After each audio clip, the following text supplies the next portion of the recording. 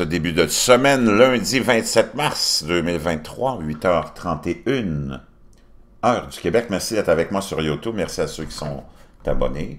Merci à ceux qui vont s'abonner.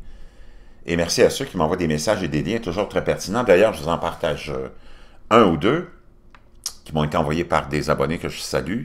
Je pense qu'il y a Seb, entre autres, là-dedans, et euh, quelqu'un d'autre euh, que je remercie. Et c'est concernant et ça devient de plus en plus inquiétant, et j'en parle souvent, ça euh, concerne indirectement, mais en tout cas par ricochet, une tempête géomagnétique qui pourrait être euh, majeure et qui va sûrement avoir lieu le plus, probablement plus tôt que plus tard. On nous prépare à ça, on en parle de plus en plus. vous et moi, on se partage des liens là-dessus, vous lisez des choses de votre côté, moi aussi, et c'est presque, en tout cas, quotidiennement ou à toutes les semaines, depuis un certain temps qu'on nous, nous parle de, du soleil, des tempêtes géomagnétiques, et même qu'on se prépare pour des gros événements euh, de tempêtes géomagnétiques ou des impulsions électromagnétiques, qui pourraient être déclenchées soit par le soleil ou par des euh, gens mal intentionnés. Et ça concerne ce lien-là, une étrange anomalie dont on a déjà parlé, dans le champ magnétique terrestre. Et euh, la nouvelle est la suivante, la NASA ou surveille activement une étrange anomalie du champ magnétique terrestre, une région géante euh, de plus faible intensité magnétique dans le ciel au-dessus de la planète, qui s'étendrait entre l'Amérique du Sud et le sud-ouest de l'Afrique. Ce vaste phénomène en développement appelé l'anomalie de l'Atlantique Sud a intrigué et préoccupé les scientifiques pendant des années, et peut-être pas plus que les chercheurs de la NASA. Donc, c'est une brèche dans le champ magnétique terrestre ou une sorte de nid de poule dans l'espace, qui apparemment n'affecterait pas la vie sur Terre, mais ne peut pas en dire autant de l'orbite des engins spatiaux, y compris la station spatiale, entre autres. Mais euh, ce qui est intriguant et un peu inquiétant, c'est l'intensité réduite du champ magnétique, c'est ça qui nous protège, entre autres, de l'éventualité d'une tempête géomagnétique. la, magnétosphère est là pour nous protéger, pour euh, euh, faire euh, en sorte que les rayons cosmiques galactiques, il y en a toujours qui réussissent à passer, les tempêtes géomagnétiques solaires, puisse avoir un impact mineur sur la planète. Et c'est très inquiétant, des histoires comme celle-là. Moi, je ne suis pas scientifique, mais quand on sait que le champ magnétique devient plus faible, c'est pas une bonne nouvelle. Il y a déjà eu plusieurs dans l'histoire de la Terre de, renversement. apparemment, on serait aussi dans un renversement euh, qui s'intensifie de changement euh, de, de, pôle, de pôle magnétique, ce qui amène une énorme euh, transformation de la magnétosphère en l'affaiblissant encore plus. Et c'est très, très inquiétant dans le contexte où on s'attend, et ça c'est de plus en plus au quotidien hein, qu'on entend cette histoire-là, c'est que le Soleil devient de plus en plus actif et il est de plus en plus depuis une décennie, et cela pour entraîner des pannes de courant, des vols au sol et des, de superbes aurores boréales, au mieux. Mais dans le pire des cas, une tempête géomagnétique pourrait causer des problèmes énormes sur Terre, surtout avec notre dépendance de la technologie, notre dépendance de l'électricité. Tout est relié. Hein? à, toute la technologie, tout notre mode de vie est relié à ça.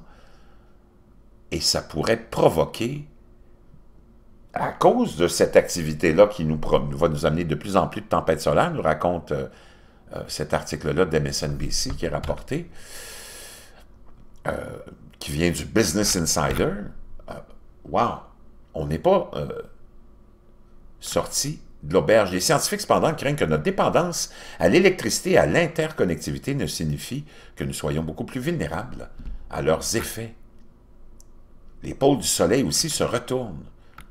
Donc, environ à, tous les 11 ans, on a euh, le Soleil devient convectivement instable, ce qui signifie que ces champs magnétiques deviennent si instables que les pôles magnétiques nord et sud basculent brusquement, déséquilibrant la polarité de notre étoile, a déclaré Matthew Owens, professeur de physique spatiale à l'université de Reading. Cette instabilité provoque des ravages dans les champs magnétiques à la surface du Soleil qui deviennent beaucoup plus actifs. C'est alors que le maximum solaire se produit. Et là, on va, on va voir de plus en plus de taches solaires et elles pourraient aussi grossir, et à mesure que les champs magnétiques deviennent plus confus, de plus grandes taches solaires peuvent apparaître à la surface du Soleil, et ça nous amène des tempêtes solaires euh, qui ont des fois des impacts euh, plus impressionnants décorativement avec des aurores boréales, mais d'autres fois, comme c'est arrivé, ça a des impacts énormes, comme on l'a vu avec l'événement de Carrington euh, en 1856, je pense, euh, alors que toutes les télégraphes ou presque sont mis à exploser. Euh, il y a eu des aurores boréales tellement grosses, puissantes, que les gens pensaient que le jour était arrivé alors qu'on était la nuit et les oiseaux commençaient à chanter, à gazouiller aussi. Les tempêtes solaires aujourd'hui pourraient immobiliser non seulement les avions, les GPS sont souvent euh, euh, affectés par ça, mais des tempêtes plus grosses donneraient des pannes de courant généralisées, des coupures de courant. Les réseaux, qui sont quand même assez vieillots, hein, les réseaux de transport électrique pourraient cramer, comme en 1856, les réseaux de télégraphe ont brûlé, les, les stations explosé dans les bureaux. ça serait vraiment, vraiment pas vraiment pas drôle. On a vu en 1986 une panne au Québec euh, généralisée ou qui nous avait plongé euh, tout le Québec dans le noir. Et c'était aussi dû euh, à une tempête géomagnétique qui était quand même pas si forte. Donc, si les courants inondent le réseau électrique, ils peuvent faire sauter des transformateurs. Un transformateur endommagé ne causerait pas beaucoup de problèmes, mais une énorme tempête géomagnétique se dirigeant vers la Terre, c'est une tempête si grosse qu'elle ne donnerait probablement des aurores jusqu'aux équateurs, pourrait faire fonctionner plusieurs, euh, faire sauter plusieurs transformateurs à la fois, ou submerger d'autres transformateurs qui pourraient alors exploser, assommant tout le réseau électrique, a déclaré euh, le professeur. Et dans le, ce cas-là, Owen, le professeur, déclare que redémarrer le réseau pourrait prendre des semaines, voire des mois. Ensuite, vous perdez la réfrigération, vous perdez l'électricité des hôpitaux, les choses deviennent aussi sérieuses assez rapidement. Wow! Jusqu'ici, nous avons eu de la chance. La pire tempête solaire que nous ayons vue s'est produite en, 1900, en 1859, euh, le fameux événement de Carrington. Mais nous ne dépendions pas autant de l'électricité à l'époque qu'aujourd'hui, la seule chose qui l'a détruite, ce sont les lignes télégraphiques. Pourtant, un événement météorologique spatial en 1989 montre à quel point nous y sommes devenus vulnérables. Et là, c'est en 1989, je me suis trompé dans les dates, j'avais dit 86. Une énorme tempête géomagnétique, le 13 mars, a coupé l'électricité de 6 millions de personnes au Québec pendant 9 heures. Donc, chers amis,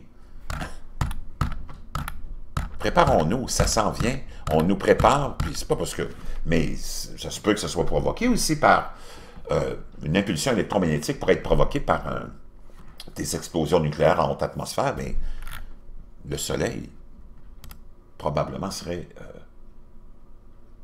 à l'origine de ce qu'on va vivre, qui pourrait nous amener loin en arrière, très, très loin en arrière. Puis moi, je vous le dis, on n'arrête pas, là, ça c'est de...